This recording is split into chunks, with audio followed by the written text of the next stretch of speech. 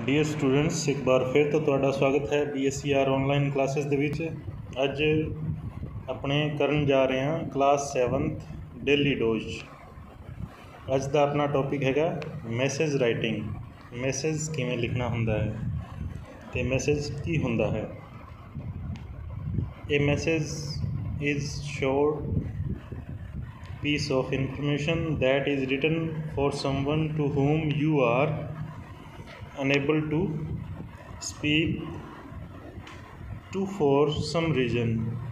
Message ਇੱਕ ਛੋਟੀ ਜੀ ਸੂਚਨਾ ਹੁੰਦੀ ਹੈ, ਜਿਹਨੂੰ ਕਿ ਆਪਾਂ ਉਸ ਵਿਅਕਤੀ ਨੂੰ ਲਿਖਦੇ ਹਾਂ, ਜਿਹਦੇ ਨਾਲ ਆਪਾਂ ਗੱਲ ਨਹੀਂ ਕਰ ਸਕਦੇ। ਸਮਟਾਈਮਸ ਕਈ ਵਾਰ ਇਹ message is passed on through telephone email or any other social media app कई बार आप मैसेज में ईमेल राही टैलीफोन राही, या फिर कोई दूजी सोशल मीडिया ऐप राही भेजते हाँ however if the person for whom the message be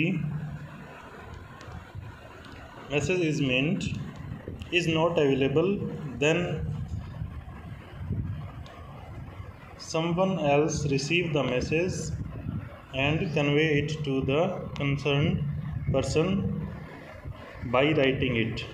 ਕਈ ਵਾਰ ਕਿਸੇ ਕਾਰਨਵਸ ਜਿਹਨੂੰ ਆਪਾਂ ਮੈਸੇਜ ਭੇਜਦੇ ਹਾਂ, ਉਹ ਮੈਸੇਜ ਰਿਸੀਵ ਨਹੀਂ ਕਰ ਸਕਦਾ, ਤਾਂ ਆਪਾਂ ਇਹਨੂੰ ਲਿਖ ਕੇ ਭੇਜ ਸਕਦੇ ਹਾਂ। ਤੇ ਲਿਖਣ ਵਾਸਤੇ ਆਪਾਂ ਨੂੰ ਕੀ ਕੀ ਚੀਜ਼ਾਂ ਨੂੰ ਯਾਦ ਰੱਖਣਾ ਚਾਹੀਦਾ ਹੈ, ਕਿਹੜੀ ਕਿਹੜੀ ਗੱਲਾਂ ਨੂੰ ਧਿਆਨ ਰੱਖਣਾ ਚਾਹੀਦਾ ਹੈ, ਉਹ ਦੇਖਦੇ ਹਾਂ। Points to be remembered while writing a message A message should be enclosed in a box. ਜਿਹੜਾ ਵੀ ਮੈਸੇਜ ਆਪਾਂ ਲਿਖਣਾ ਹੁੰਦਾ, ਉਹ ਇੱਕ ਬਾਕਸ ਦੇ ਵਿੱਚ ਲਿਖਿਆ ਹੋਣਾ ਚਾਹੀਦਾ ਹੈ।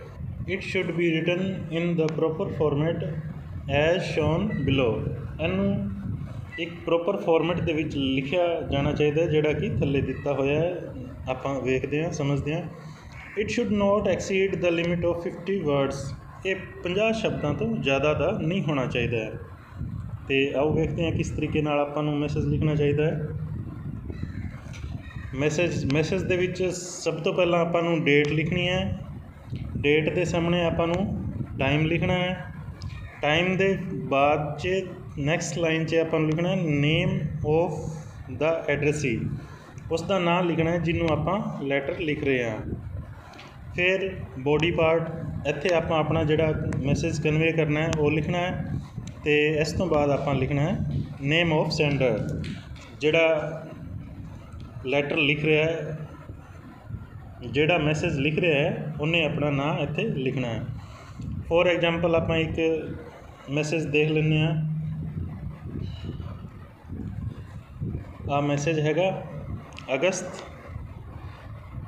8th 2020 time 10 am dear amandeep seema rang up to you